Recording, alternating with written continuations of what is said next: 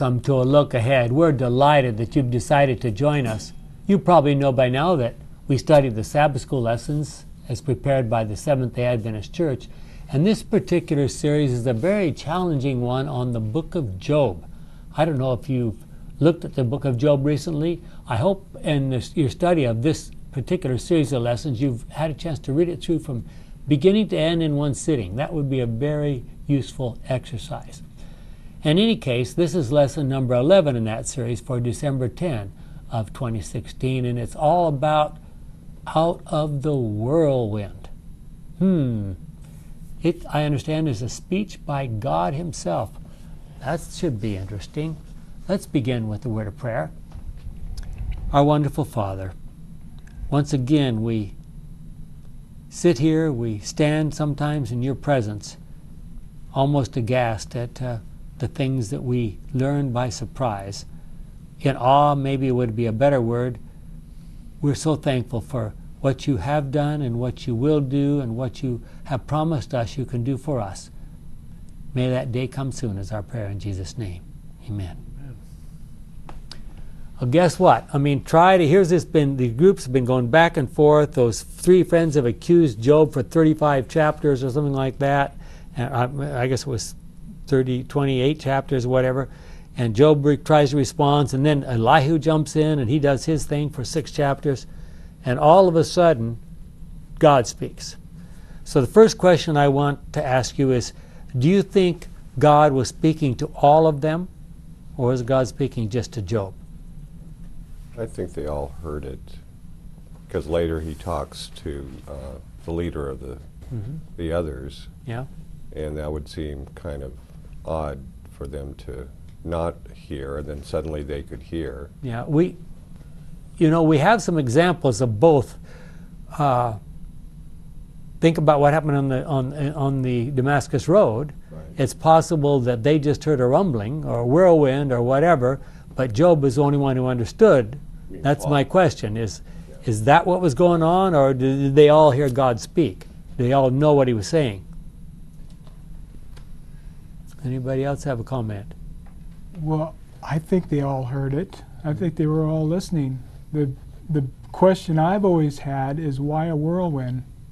I mean, you're you're yeah. perfectly okay with God showing up as a man and Job talking back and forth. Well, why couldn't he have done that instead of a whirlwind? And I, I have a I have a su- possible suggestion to that. In these in, everybody has, has admitted all the way along that God is completely sovereign, that He's absolutely in control of uh, the world, and you know, there's no way any of us could actually challenge Him. So I think God appears as a whirlwind to say, "Okay, you think I'm like this? Let me show you." think I'm like, th- like this, like powerful. I mean, a tornado or a hurricane or something.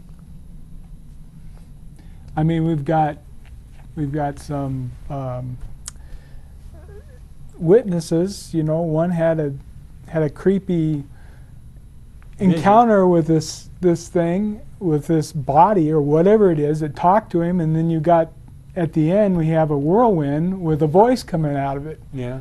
So we've got some some different things happening yeah. here when it comes to the spiritual people coming in to talk to these people.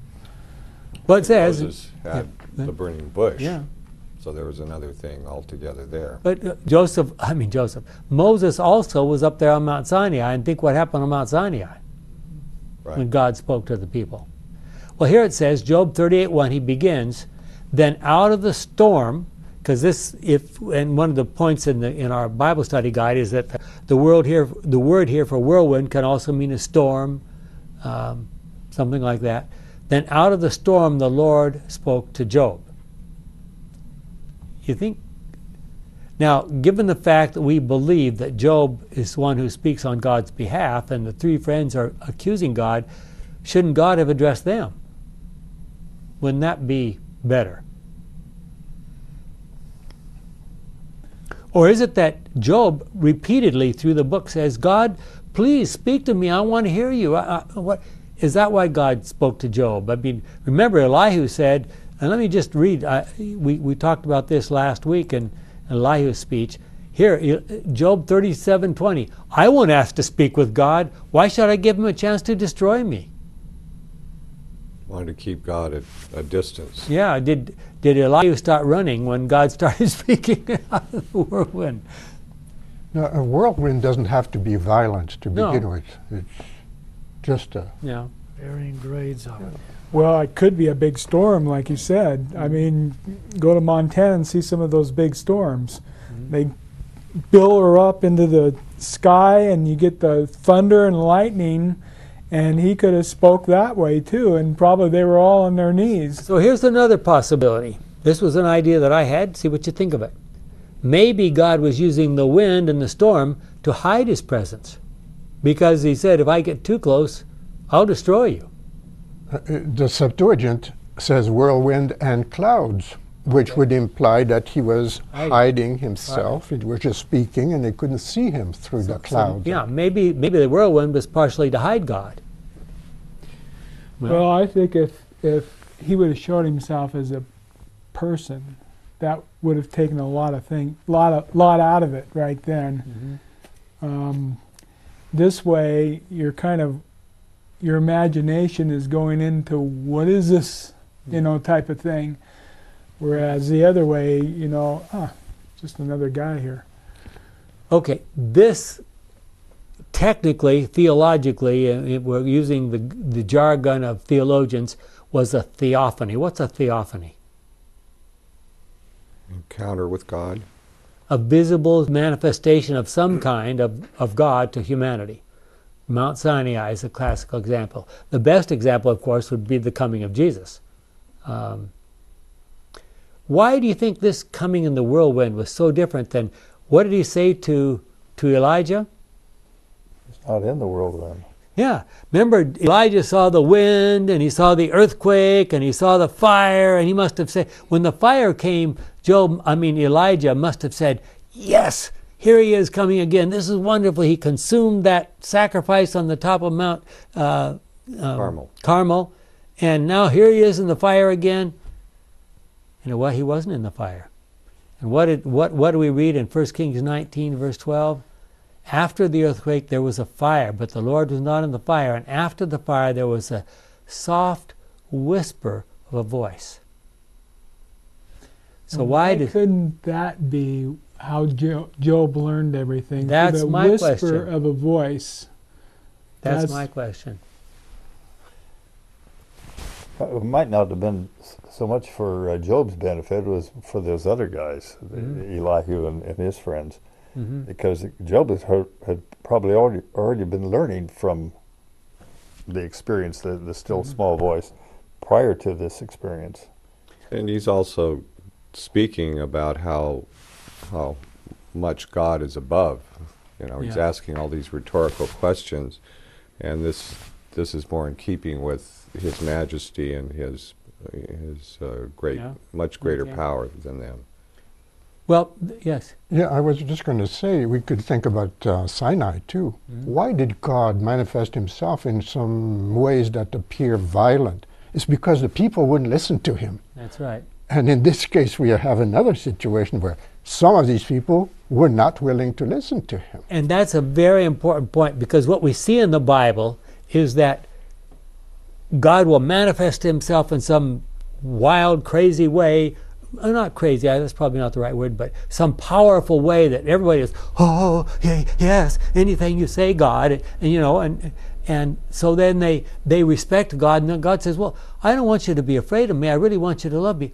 Okay, then we can go back, back to our worshiping other gods and doing all other crazy stuff. And so God is constantly sort of weaving his way back and forth between do I scare them or do I love them? Do I scare them or do I love them? He's that's- adapting. He's yeah. adapting the situation.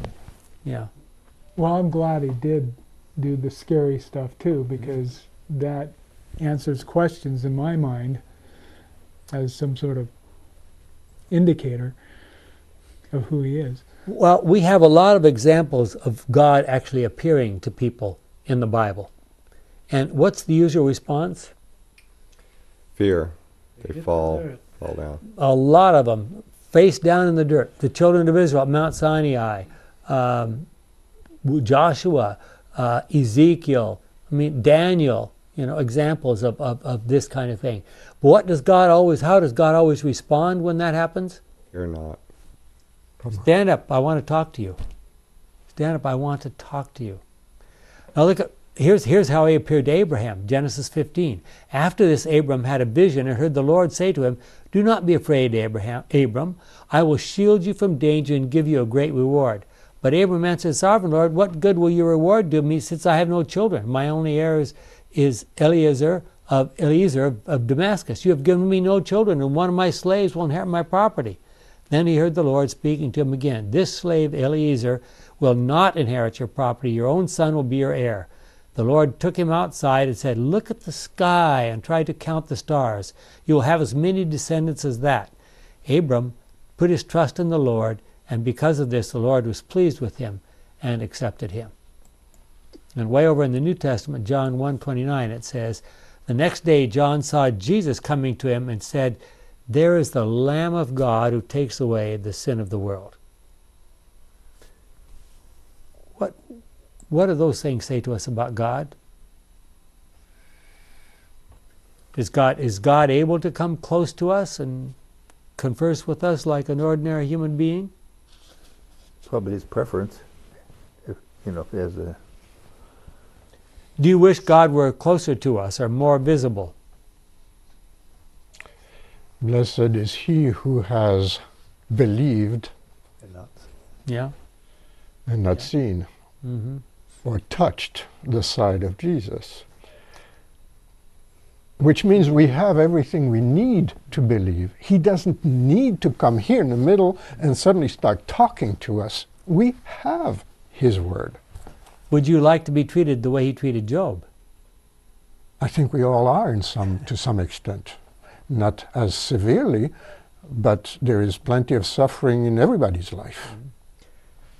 How would you like to have, let's say, once a week or once a month, a half an hour interview with God? I do. Who do you think would demand equal time? Hmm. How would you like to have a half an hour interview with the devil? Do I have to? Well, Ask God to put a hedge around you. He's an equ- equal opportunity God. well, do we have a permi- do we have an opportunity to listen to God when we read the Bible? Yes, of course. Is the Word of God through Scripture just as important as the words of God in person? I I think we have to be careful how we read the Word of God. If we read the Word of God as a menu as to what we should do or not do, we're in trouble. If we look at the Word of God for the mindset mm-hmm. that is God's, that He would like each one of us to adopt, mm-hmm. and that would change our lives. Let us look at Scripture for the way God thinks, not what He does. Mm-hmm. Every time Jesus said, You've heard it said, but I tell you, He's basically saying, You've been told to do this or not do that, but I'm telling you how to think about it. Yeah, and and and one of the major reasons I think why he did that is because they had so misinterpreted what he said in the Old Testament in the past. Look what all look what the Pharisees were saying about God to these people all the time. Well, verse two of chapter thirty-eight for Job, he says, God speaking to Job, "Who are you to question my wisdom with your ignorant, empty words?" How do you think Job felt when he heard those words? Is that the nice, polite way to address your friends? Does it seem like God wasn't too happy with Job? if you had only those verses, you might think so, right? Well, throughout the Bible, we find God asking a lot of questions. Good teachers ask questions, right? Sometimes they ask some really tough questions. That's what they call tests, right? This is not to suggest that God asks questions because he doesn't know the answers. God asks questions from a rhetorical standpoint. What do we mean when we say a rhetorical standpoint? You all know what that means. Politics. The answer is Well, obvious. Doesn't have to be okay. So, well, he, he he's asking it because he wants to stir up some thinking. He wants us to think about it. He wants us to respond. It's not like he doesn't know the answer. Well, Yeah, verse verse um, two. yeah, Who is this that hides counsel from me, and confines words in his heart, and thinks to conceal them from me? I mean, it's a person who is not willing to to share the word of God with others, mm-hmm. and that's what God does not approve of. Well, we have record of God asking a bunch of questions in the Bible. Look at some of them. Genesis 3:11. Remember this one? Who told you that you were naked? God asked Adam and Eve. Did you eat the fruit that I told you not to eat? Did God already know they ate the fruit? Of course. And look at Genesis 4:9. The Lord asked Cain, "Where's your brother Abel?" He answered, "I don't know. Am I supposed to take care of my brother?" Did God know where Abel, Abel was? Of course he did. Look at 1 Kings 19, verse 9. Then he went into a cave to spend the night. This is Elijah again. Suddenly the Lord spoke to him Elijah, what are you doing here? What should have Elijah been doing at that point?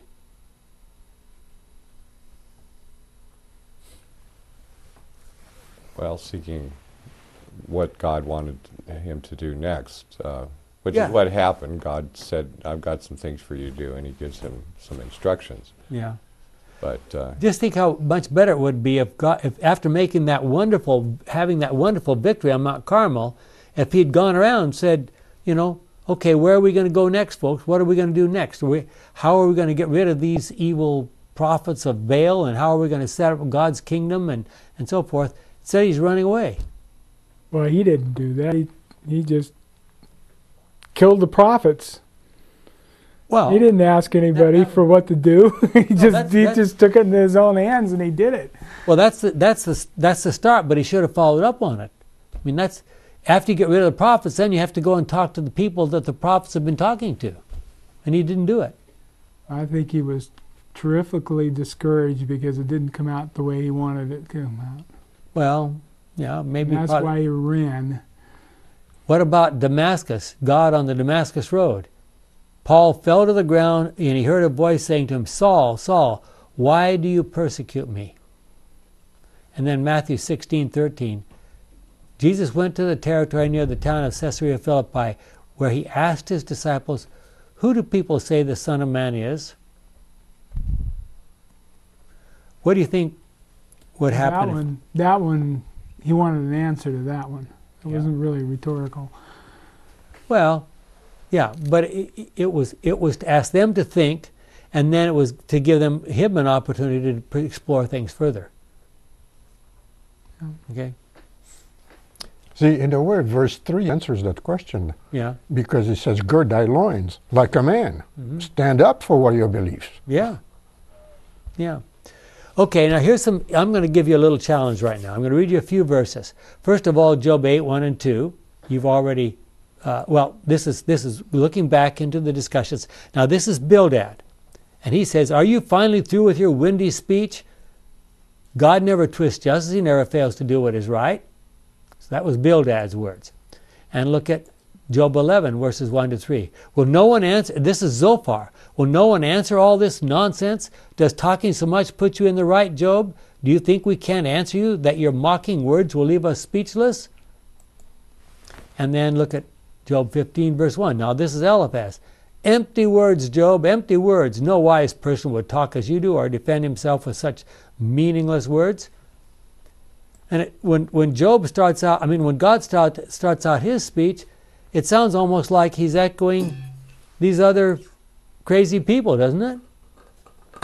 Who are you to question my wisdom with your ignorant, empty words? Doesn't that sound like more or less what some of these other people have been doing? Why, why would God appear to uh, agree with the words of these so called friends, Job's so called friends? If God should come to us right now and talk to us about our lives and what we are doing for Him, what would we answer? What question do you think God would ask of us right now? if, if he came to us. Might he ask us what we're doing uh, about witnessing? Or do you really would he really want to come back? Do you really want me to come back soon? Are you ready? Well, look at let, us look a little bit more at God's speech. I'm going to read a few verses. Job start, starting out with verse four. Were you there when I made the world? If you know so much, tell me about it. Who decided how large it would be? Who stretched the measuring line over it? Do you know all the answers? What holds up the pillars that support the earth? Who laid the cornerstones of the world? In the dawn of that day, the stars sang together, and the heavenly beings shouted for joy. By the way, that's an important point to, in talking about creation. Um, who was there besides God? Sons of God. The sons of God. And who were these sons of God? The Elohim. Yeah, the people from the other parts of the universe, right? The leaders of the other beings. And this is this is a really important point for us to, to, to make in our discussion of the great controversy. So, who closed the gates to hold back the sea when it burst from the womb of the earth? It was I who covered the sea with clouds and wrapped it in darkness. I marked a boundary for the sea and kept it behind bolted gates. I told it so far and no farther. Here your powerful waves must stop. Job, have you ever in all your life commanded a day to dawn? Have you ordered the dawn to seize the earth and shake the wicked from their hiding places? Daylight makes the hills and valleys stand out like the folds of a garment, clear as the imprint of a seal of day and, and seal on day, and, and, and so forth. So the first whole section of God's speech is about what? It was about Genesis 1. It's creation. about Genesis 1, about creation, about how God created this world. Um, and what what's that? What does that have to do with Job's question? We put much bigger picture than he had. Mm-hmm. Maybe he was telling Job that maybe he should have been a little more um, humble. Okay. Did Job need to be more humble? Well, it Kind if you were sitting like on it. an ash heap covered with sores and nobody else wants to get in you, even around you because you smell so bad, is your usual problem you're not humble enough? Well, that isn't the humbling I'm talking about. He still Well, that was talked. Job's situation. He still talked. Yeah. And and put his opinion out. Okay.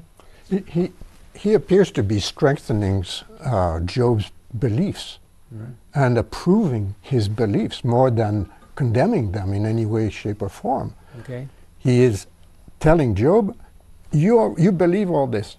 Why don't you come to grips with what your beliefs are? Okay. And we find that through this suffering, Job did learn something important as we go on with this study. He's asking Job questions like Can you control nature? This is rhetoric on, yes. on God's part. Is, do any of God, any of God's comments in His speech sound a little sarcastic to you? Not really. Well, our Bible study guide says this. listen to these words, see if you agree. The Lord then points to wonders and mysteries of creation. Again, with a series of rhetorical questions that cover not just the foundations of the earth, but also the mysteries of the weather and even of the stars themselves. Can you bind the cluster of the Pleiades or loose the belt of Orion? He then points Job back to the earth, to everything from human insight to the lives of wild animals, a theme that is fleshed out in much more detail through Job 39 as well. Had the book been written in written today, the Lord might have asked, Who binds the quarks and protons and neutrons? Where were you when I first measured out a Planck mass? Is it by your wisdom that gravity bends space and time? You think God would ask questions like that? Most people on the earth today would say, huh? well, it's still, it's still, you wonder why he said that to Job. Mm-hmm. He must have been giving him some sort of message. What's the message? Well, since we started out, our second lesson in this whole series, if I remember correctly, was about the great controversy. So, Job 38, verse 7 tells us that in the creation, all these beings in the rest of the universe were watch, watching exactly what God was doing. Do you think they were all watching what was going on here in the story of Job? Of course. Mm-hmm. Why do you think that? What's happening on this earth has to do with the education of the whole universe, not just us. 1 Corinthians 4, verse 9. We are the theater of the universe, right? But there's another specific reason why I think we can, it's fair to say they were all interested. Who was present when God raised the question to the devil back in the beginning of, of Job? You mean the, the the story at the beginning? Yeah. I mean, everybody was gathering around at some meeting, Sons of Right. God the These sons of God, Yeah. and then this whole conversation came up among them. So what are they going to do? They're going to, eh, okay. So they go home and don't don't look at it They anymore. were watching this story very, very cl- closely. I think that's an important point, though, because oftentimes we watch the story and we miss the message of the story. So he's reminding him the story so as to bring him to remember the message contained Yeah. in that story. Many So- various ways God has communicated and c- clear back. That's a, really a replay of Genesis 1. The whole. Yeah. Well, God asked Job about creation. He says, Were you there? Of course not. Job didn't have the answers. So if he didn't know much about creation, how could we know about the Creator? Should this remind us of our position in the universe? Well, we recognize that Job, who lived some 4,000 years ago compared to us, probably had relatively little information about many aspects of science and creation. Think of all that we have discovered and learned just in the, just the last 500 years. 500 years ago, people believed that this earth was the center of the universe. Some of them even believed the earth was flat. Today, we live in a world in which many believe that anything, uh, everything that we should believe must be proved by science before it should be believed. Is that a fair approach to take? Well, there's many things that can't be proved by operational science. Can you think of something? Well, things that are of a historical nature. And Yeah, we, we attempt exactly. to, uh, for instance, with forensics, try to determine who did what. But even like in the trial in South Africa of the Blade Runner, there were Mm-hmm. scientific forensics, well, forensic scientists on both sides of the aisle that were interpreting the same data Mm-hmm. and coming to different conclusions. And, and that was a very recent event. Mhm. But when you go back supposedly, well, s- thousands of years, supposedly mi- millions and billions, then you're, you're also uh, Yeah. based on speculation and assumptions. So why is it that people don't question the words of Sophocles or Aristotle or Plato, but they question the Bible? They don't want to believe. They don't want to believe. That's exactly right. Doesn't fit their paradigm, perhaps. There's a fellow by the name of Richard Feynman, who used to be at Caltech. He says, Science is the belief in the ignorance of the experts. I mean, he was no slouch, so that's why I quoted him. Yeah. Well, Ellen White says the secret. This is, of course, she quotes Deuteronomy 29, 29 first. The secret things belong unto the Lord our God, but those things which are revealed belong unto us and to our children forever. Deuteronomy 29, 29. Just how God accomplished the work of creation, He has never revealed to human beings, says man. Human science cannot search out the secrets of the Most High. His creative power is as incomprehensible as his existence. Last week we read that God gives us the evidence for his to believe his word, to understand his character, and for his existence, didn't he? So we need to be cautious in what kind of statements we make. Um, think of the amazing things that are going to be they've just been discovered in the last 300 years. I mean, 300 years ago, no one even thought anybody would ever fly. They, they walked or they traveled by horse, maybe by carriage in some cases.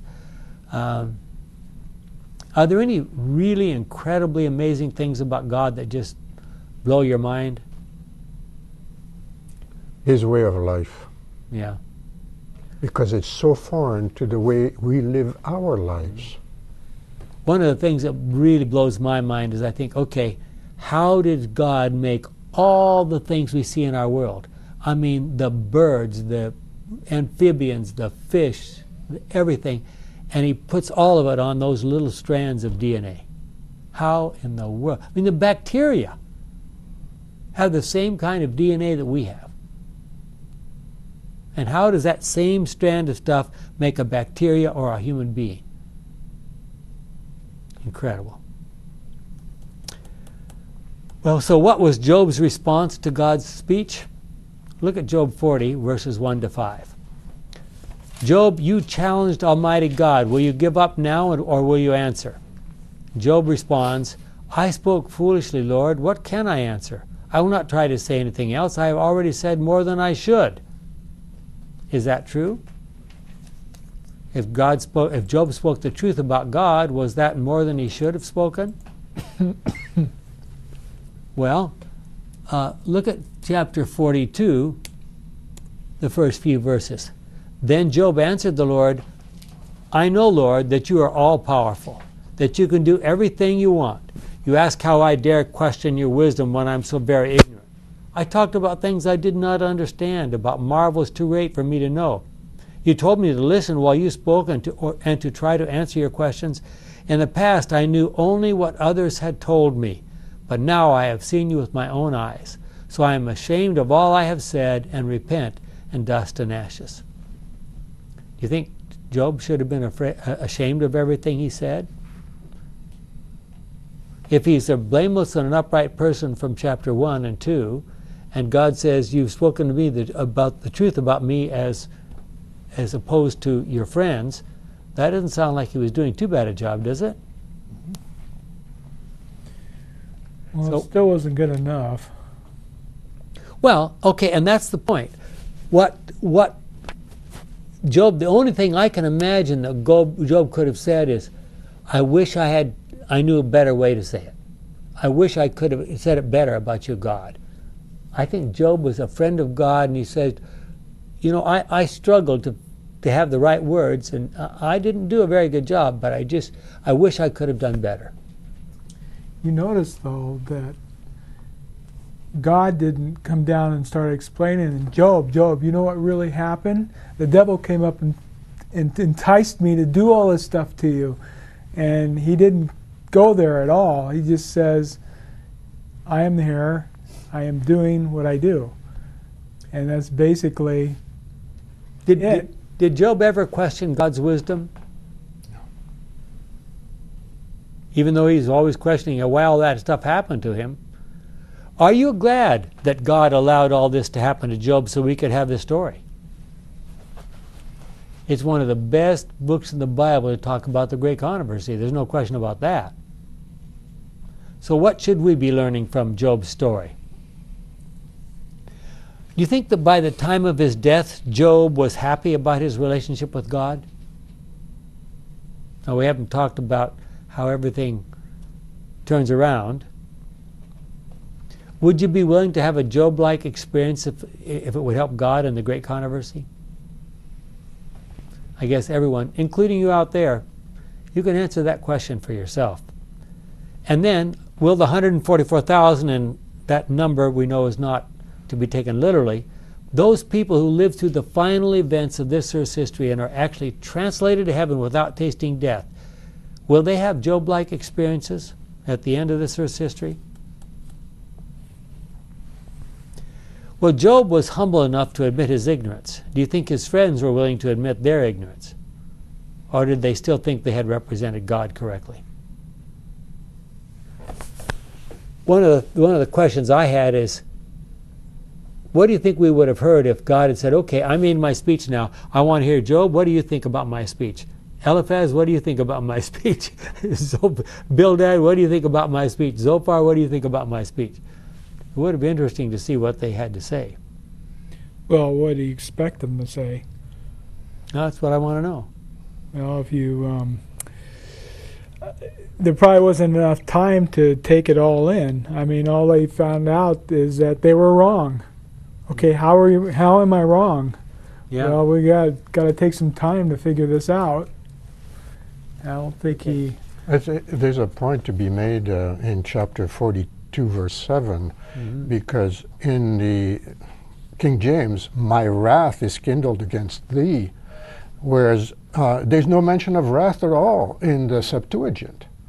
And to me, that's really an important point because God, it, there was no wrath of God in this situation.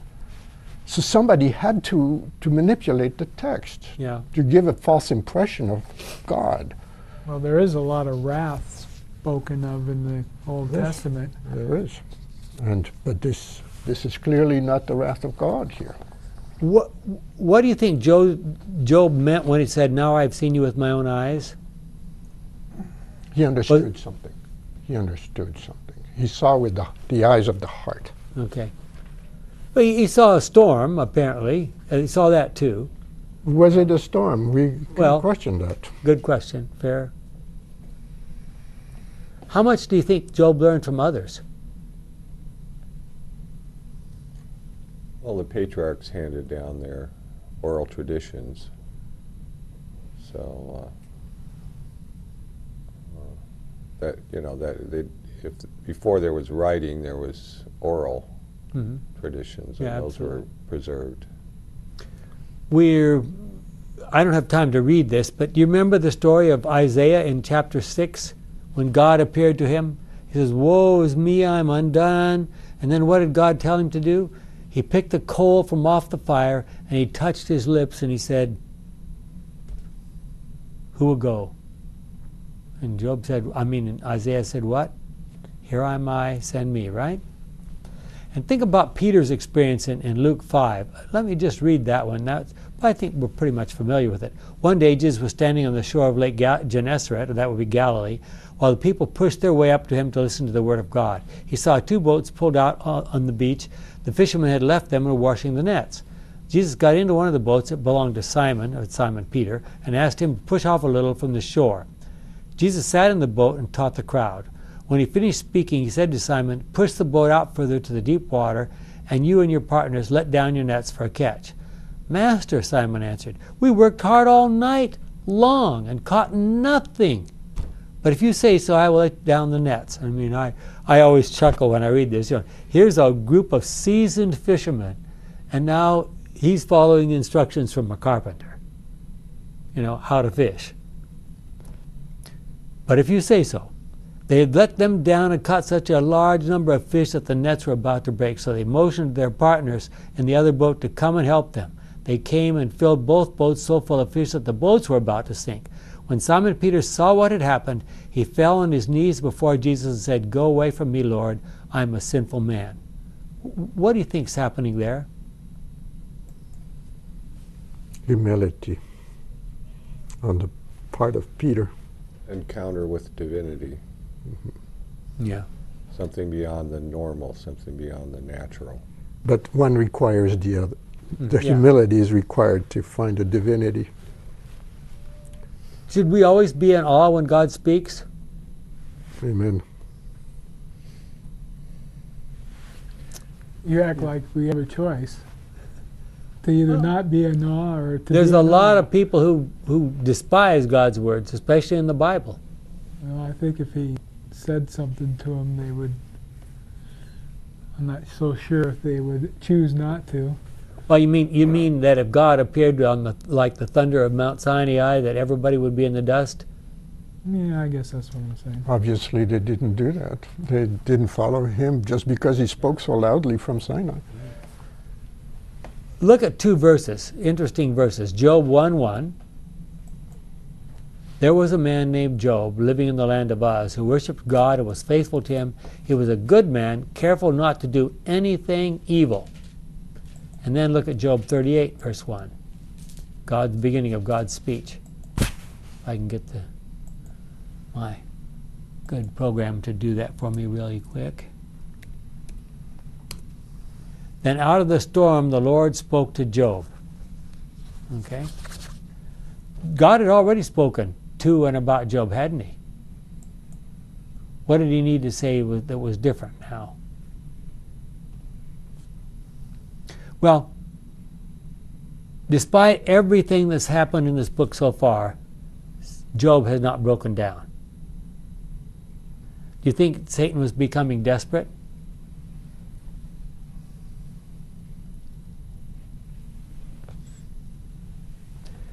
Our lesson suggests that maybe Job was feeling, after what it says in Job 38 1 and 2, that he maybe was even abhorring himself. You think that was true? Did he feel what? his own sinfulness? Yes? Was what? I didn't. He, he was ab- abhorring himself. Abhorring? which means Well, he had reason to because of his physical Yeah. appearance and yeah, such. Didn't feel very comfortable about what, what was happening, what had happened to him, did he? Did he did he feel his own sinfulness and smallness? We can, of course, never save ourselves. We have to depend upon someone who comes and helps us. We need someone to do for us what we can never do for ourselves, and of course, that someone is Jesus Christ.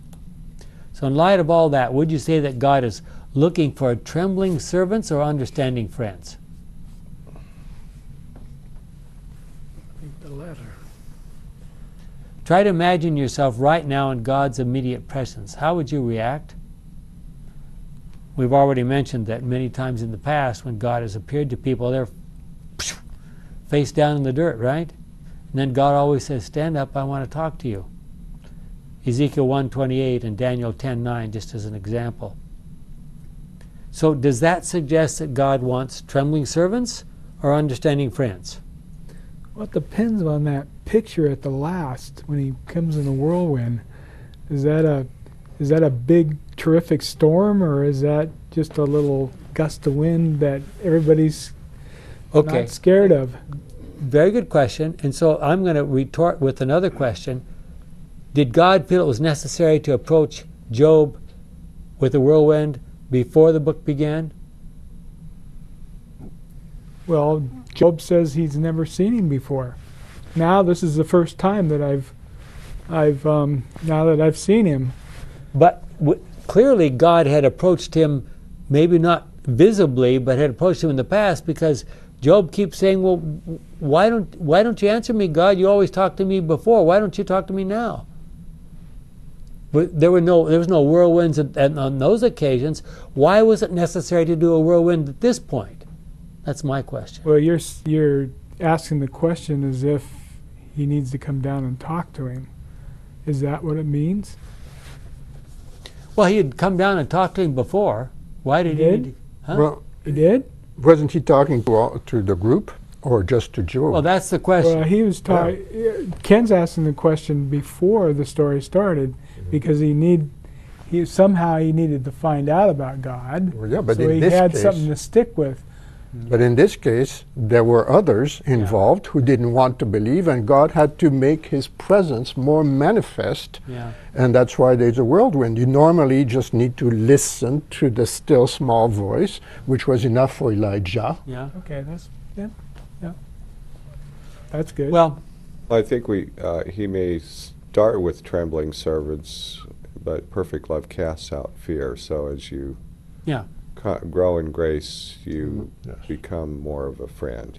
But he, he'll take us where we are. Ellen White put it in these words The greatest minds, if not guided by the Word of God in their research, become bewildered in their attempts to trace the relations of science and revelation. Because the Creator and His works are so far beyond their comprehension that they are unable to explain them by natural laws, they regard Bible history as unreliable.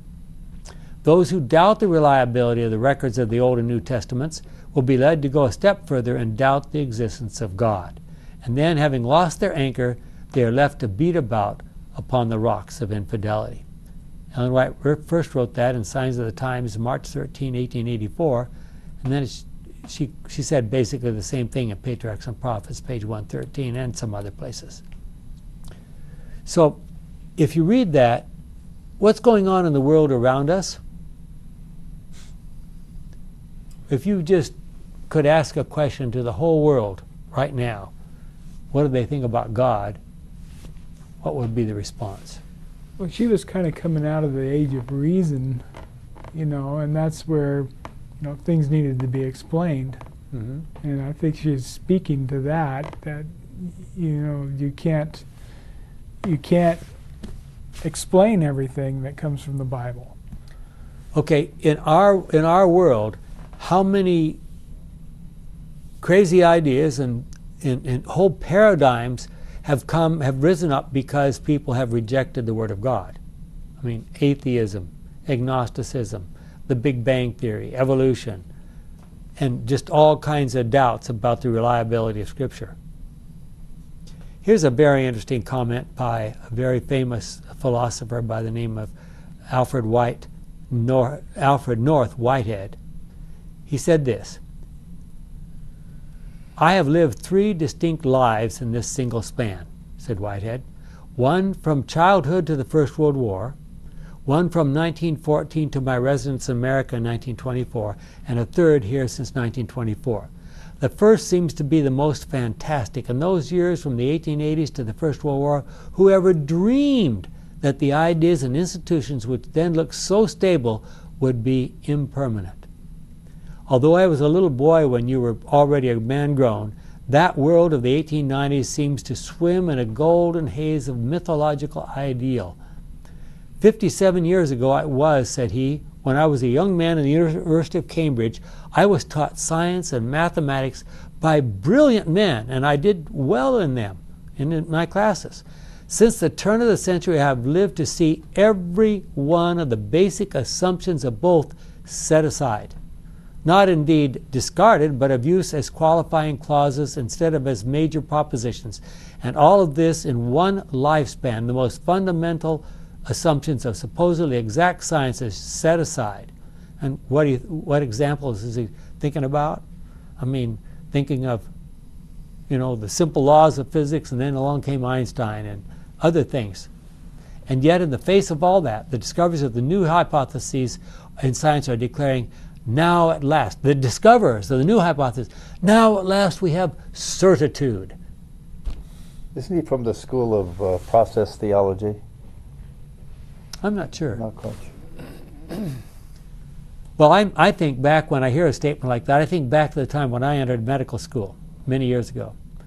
And one of our first lectures, the dean came to address us, and he stood up and he said, Half of what we're going to teach you is wrong. We just don't know which half. well, think about some of the marvelous things that science has discovered that should be, give us even more awe of the God who created all of that.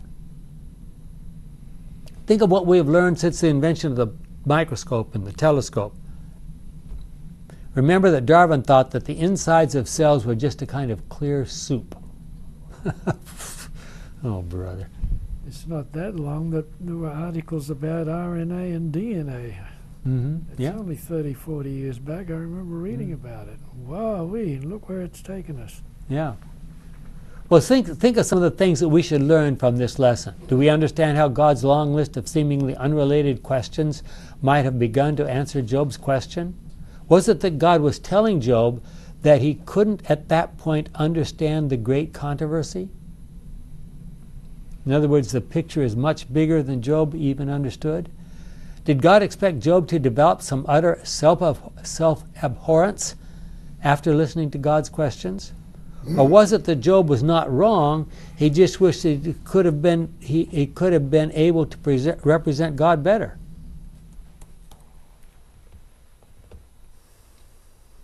Would it be correct to say that the most important thing that we can do in this life is to begin to get to know God better?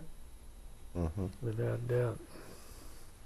But like Job, we need to realize that our knowledge will only be a tiny beginning.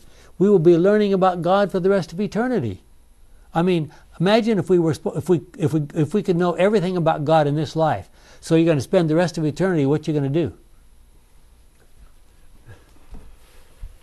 Well, having reviewed the questions that God raised in Job 38 to 41, do you see an immediate answer to the causes for Job's suffering? Was God saying, I'm all powerful, I'm absolutely in control, so therefore, Job, I'm the one who made you suffer? Is that what he was trying to say?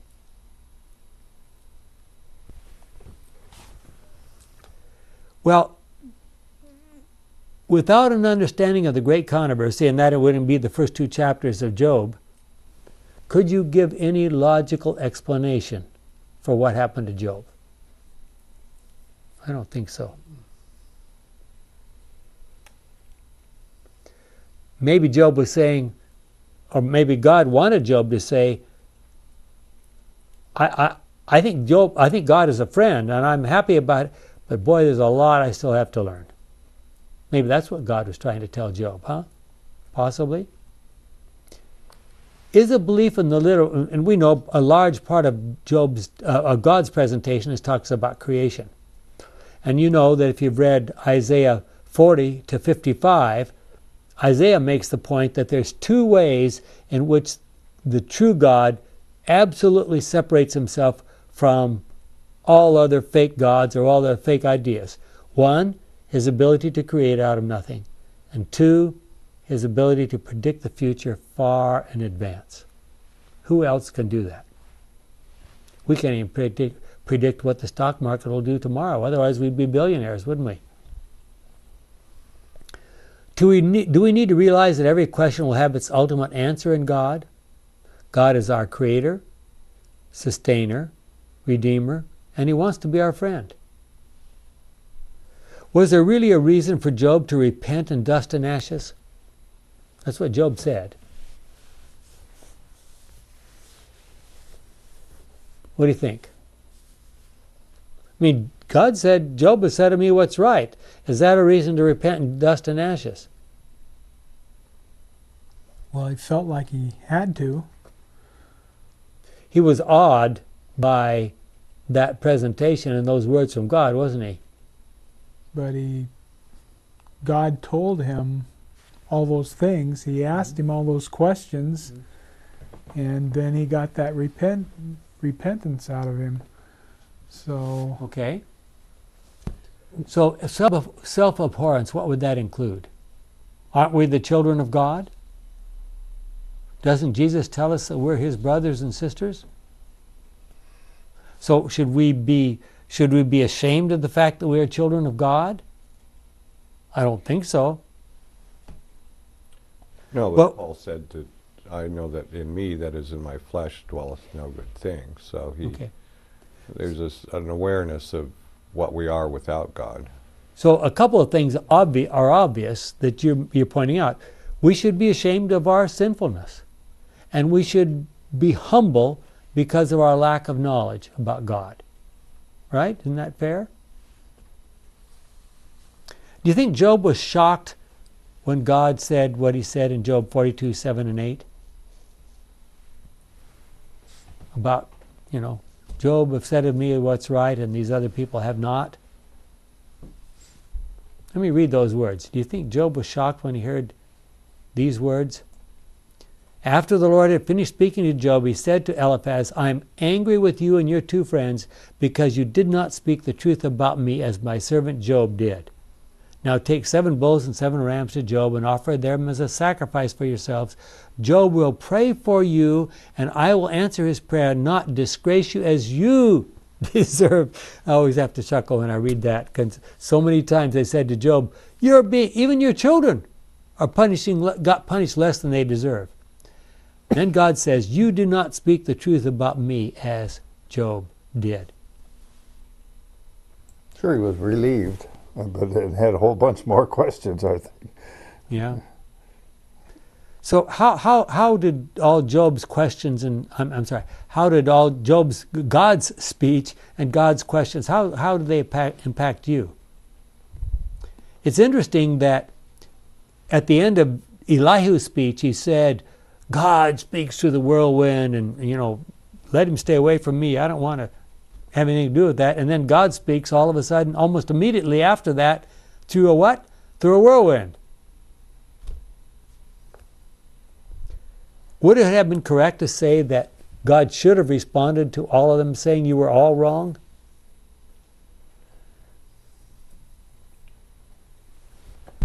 what, what do you mean?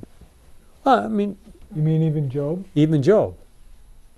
Well, obviously, Job wasn't wrong with whatever he was pointing out that was right. Well, I, I would like to just point out once again Elihu's statement. What do you think of this? I won't ask to speak with God. Why should I give him a chance to destroy me? What kind of an attitude is that? Not a fr- friendly attitude. That. This is no friend of God. And I guess another question I would like to ask is when Jesus comes again, or in the final judgment just leading up to that, would you be happy to have God say to the rest of the universe, Job has said, I mean, you have said of me what is right? Well done, thou good and faithful servant. Yep. Exactly. Yeah. Wouldn't that be wonderful?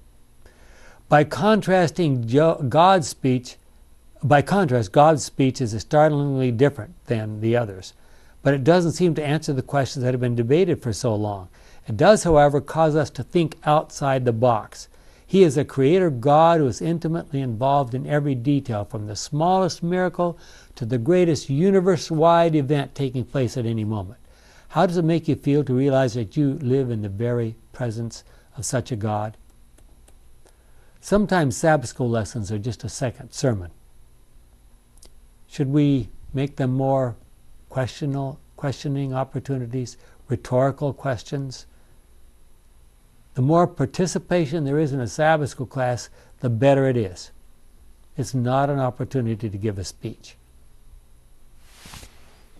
Well, if we don't understand the book of Job, or if we don't see clearly these the, the issues that were involved here, maybe we should reread the book, huh?